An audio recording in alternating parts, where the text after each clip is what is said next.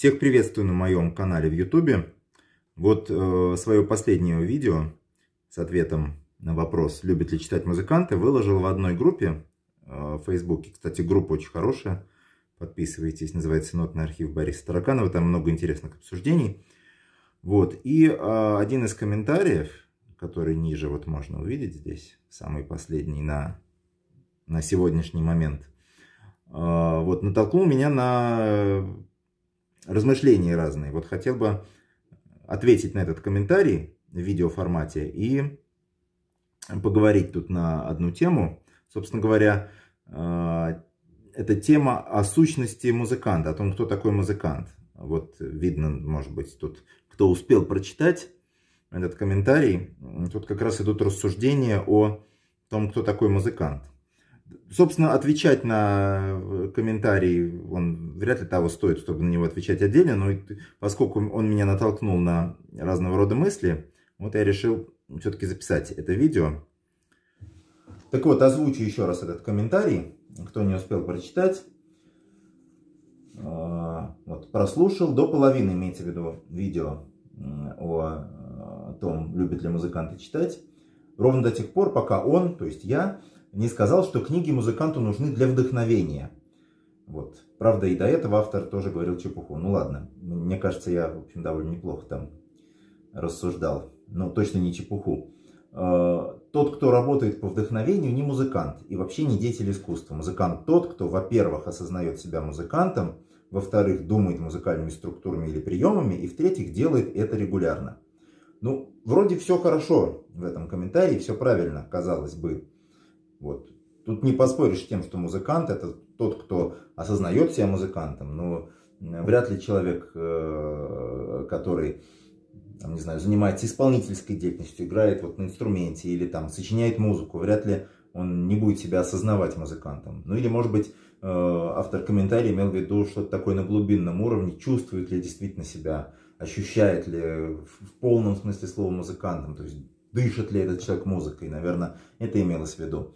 А, вот. Э, ну и дальше вот как раз идет пояснение. Думает музыкальными структурами и, или приемами. Да, абсолютно верно. То есть э, я по себе могу сказать, что я вот как композитор, например, да и вообще, то есть у меня постоянно в голове что-то вертится, какая-то музыкальная жизнь происходит у меня внутри, и действительно идет мышление музыкальными структурами, то есть Вообще у нас есть такое свойство мозга, что он, в общем, если человек не мертвый, мозг у нас постоянно активен, то есть мы постоянно что-то думаем. Так вот, можно думать словами, как-то вербально, а можно думать звуками. И для музыканта действительно характерно, что он думает звуками, причем именно какими-то, как тут правильно сказано, музыкальными структурами, какими-то такими, не просто нечленораздельными, неупорядоченными звуками, а именно организованными музыкальными структурами и приемами. То есть это абсолютно верно.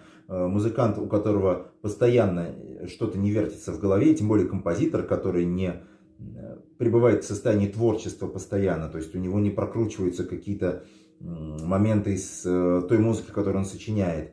Вот такой человек вряд ли, если у него это не происходит, может считать себя музыкантом. Так что тут абсолютно верно. И дальше, в-третьих, делает это регулярно. То есть, что значит делает? Ну, тут вот как раз э, я хотел бы перейти к э, пункту этого комментария, о, о котором хотел порассуждать. Дело в том, что, ну, что значит делает регулярно? Думает музыкальными структурами регулярно? Ну да, даже во сне музыкальные структуры, они продолжают э, складываться в какие-то более крупные музыкальные структуры, как-то варьироваться. То есть, в общем, что-то с ними происходит в любом случае.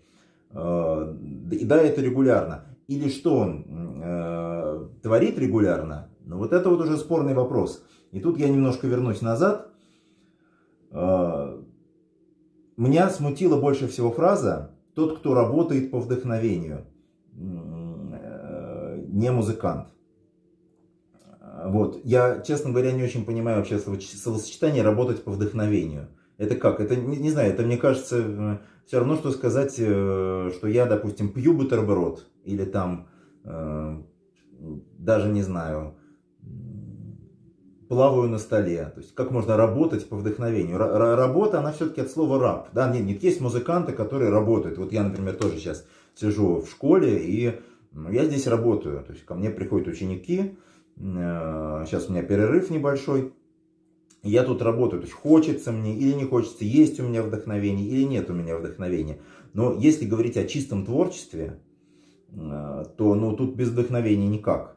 То есть, ну, можно, конечно, э, действительно регулярно работать. И да, мы все помним эту крылатую фразу Чайковского, ну, знаменитую, так скажем, э, о том, что вдохновение – это гости, которые не любят посещать ленивых. Да? То есть надо начать работать, может быть, даже где-то себя заставить, вернее, не работать, а писать, да, работать это, работа это, опять-таки, же от слова раб, начать трудиться, так скажем, и вдохновение придет, вдохновение придет в процессе, если ты действительно музыкант, если, если ты хочешь э, творить, если ты не можешь не творить, то есть, если ты не можешь не писать, если ты начал, сел трудиться, допустим, тебе действительно лень, там, или ты не выспался, или устал, но если ты сел и погрузился в данном случае как композитор, если уж мы заговорили о Чайковском, если ты погрузился в э, поле своей деятельности на, на конкретный момент, то есть если ты сочиняешь, допустим, э, какое-то большое музыкальное, музыкальное произведение, и ты туда погрузился, вот ты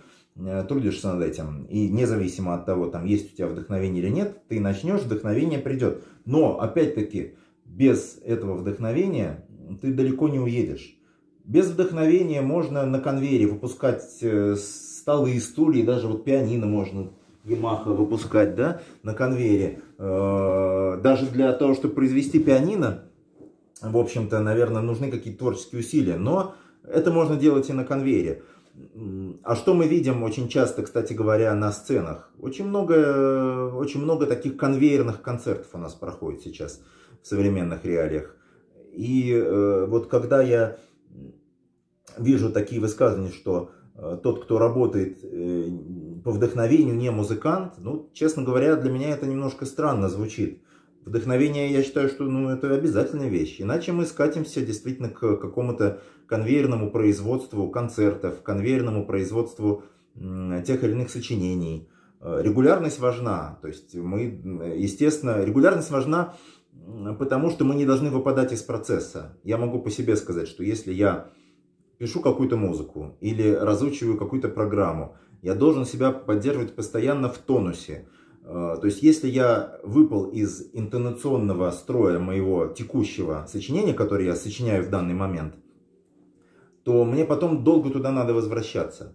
Вот поэтому, да, тут э, необходима регулярность, чтобы просто не выпасть э, из тонуса. То же самое, если я разучиваю какую-то программу, я, допустим, что-то выучил, потом сделал месяц перерыв, и мне сложнее будет вернуться, сложнее, чем если я буду продолжать регулярно, то есть без перерыва. Вот в данном случае регулярность, да, но э, регулярность, она ни в коем случае не должна превращаться в конвейер. Э, вдохновение обязательно, потому что, ну, если у тебя э, душа не лежит, если ты э, не, не хочешь, если ты не горишь, вот это горение, внутреннее горение души, оно должно обязательно поддерживаться. И, ну, поскольку я в предыдущем ролике рассуждал о книгах, книги это, собственно, один из источников вдохновения. То есть, чтобы мы могли творить, а не производить фабричную продукцию, мы должны э, все-таки осознавать, что мы делаем или хотим делать что-то новое, что-то принципиально новое. Творчество это, в общем, творчество с чистого листа, практически из ничего. Ну, как бы это считается, что э, кто как верит, да. Бог сотворил мир из ничего. Мы все-таки творцы вторичные, то есть мы берем некий материал, некие традиции, уже основываясь на них, наше творчество, оно вторичное, даже композиторское. Да, творчество исполнителя, оно уже даже не вторичное, оно там какое-то третичное может быть. То есть мы уже играем готовое сочинение, но все равно привносим от себя. Мы делаем то, чего до нас не было никогда, потому что каждое исполнение того или иного сочинения, оно каждый раз уникальное. Э, хотя у нас сейчас очень многие исполнители стремятся именно к унификации, к такому фабричному производству. Ну да, это тогда будет такой хороший ремесленник, а не художник.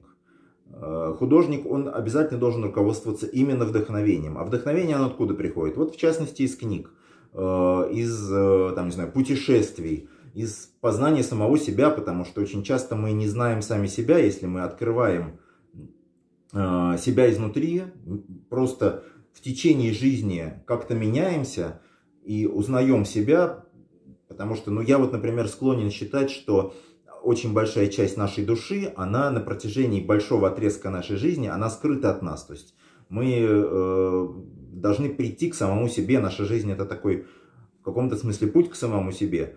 Э, и мы не всегда можем себя самого постичь, уже не говоря об окружающем мире. Вот так, это огромное такое поле для познания э, для нас открыто. Так вот, если мы э, познаем самого себя, познаем окружающий мир, это тоже наше внутреннее душевное пространство расширяет, нас обогащает и служит вдохновением для вот этого творчества. Вот. А если человек э, просто откровенно забив на это творчество, на вдохновение, я имею в виду, на такое творчество, которое руководствуется вдохновением, просто заставляет себя именно работать, от слова раб, э, то ничего хорошего не, не, не получится. Получится конвейер. Поэтому очень важно руководствоваться вдохновением. И да, что касается регулярности, конечно, нельзя выпадать из тонуса. С одной стороны, но с другой стороны, бывает так, что ну, мы реально устаем. То есть, ну, банально накапливается недосып иногда. Вот мы работаем, скажем, преподаем э, где-то, какая-то у нас сторонняя деятельность вообще, там, ходим в магазин, э, что-то делаем, там, воспитываем детей. Мы иногда просто реально устаем. И в состоянии такой зашоренности, в состоянии суеты, творчество по-хорошему, по настоящее подлинное творчество, оно невозможно. Поэтому заставлять себя именно работать, э, поднимать целину э, в искусстве, ну из этого ничего хорошего не получится. Нельзя этого делать. Нужно иногда дождаться вот этого вдохновения, да, в какой-то момент нужно себя усадить за стол, если ты композитор, или за инструмент, если ты исполнитель, или и за стол и инструмент одновременно, если ты, как я, композитор и исполнитель в одном лице, и что-то начать делать, и вдохновение придет. Я по себе могу сказать, что это так бывает. Чайковский прав. А, вот иногда это нужно делать. Вот, но иногда э, нужно действительно отдохнуть, нужно отойти, потому что, ну, если тебя неделю подряд, там, каждый день бьют плетьми, ну, и потом тебя отпускают. Иди, там, занимайся творчеством. Ты сразу сможешь заниматься творчеством? Не сможешь. Тебе нужен будет какой-то период для восстановления, э, для каких-то впечатлений, э, для, для получения каких-то впечатлений, для того, чтобы впитать что-то, может быть, извне или изнутри себя. Опять же, получить вдохновение – из какого-то источника, будь то литература, будь то любой другой вид искусства, будь то природа, будь то э, другая музыка, э, будь то просто какое-то самопознание, будь то какая-то духовная даже жизнь, религиозная, допустим, или нет, э, любой внешний источник. То есть мы должны отойти, э, отдохнуть, получить это вдохновение, и тогда действительно мы сможем сотворить что-то новое. Именно сотворить, а не произвести как ремесленник э, продукт. Или продолжить что-то. Мы, допустим, отложили, у нас какая-то деятельность другая. Ну, вот я про себя говорил, что я организатор и педагог. То есть вот у меня педагогическая деятельность и организаторская. Свое творчество в плане э, сочинения музыки или разучивания какой-то программы я на этот момент могу отложить. Вот. Но чтобы к нему вернуться, естественно, я должен себя привести в порядок, себя перенастроить в каком-то смысле. Поэтому, ну вот, кто этот человек, который рассуждает о регулярности, вот, честно говоря, я не знаю, но э, тут в этом комментарии, почему я так много об этом говорю, кроется некая опасность для нашего современного музыкального мира. Вот это вот постоянное вламывание, вкалывание, работа – она настоящему творчеству, я считаю, э, противопоказана. Именно работа в том смысле, э, как многие ее сейчас воспринимают. То есть э, работа по неволе. Нельзя ничего делать без горячего желания это делать. И когда человек говорит, что, ну, если человек там регулярно не работает, вот, и работает только по вдохновению, то он не музыкант. А я вот позволю себе не согласиться. Как раз таки настоящий подлинный музыкант это тот, который руководствуется вдохновением, руководствуется тем, чтобы действительно творить, а не производить какой-то продукт, полученный в результате работы. Ну вот это такое мое мнение. И такие у меня вот рассуждения, соображения по поводу сущности подлинного настоящего музыканта. Подписывайтесь на канал. Будет еще несколько видео из рубрики ответов на вопросы. И я, наверное, вскоре расскажу о своих концертных планах. В частности, расскажу о своем первом концерте из цикла концертов к 150-летию э, Скрябина. Скоро состоится мой концерт. Вот я о нем в одном из следующих видео расскажу. И, конечно, еще выложу, выложу на свой канал как раз-таки э, результаты, плоды своей творческой деятельности, а не продукты своей работы. Спасибо за внимание.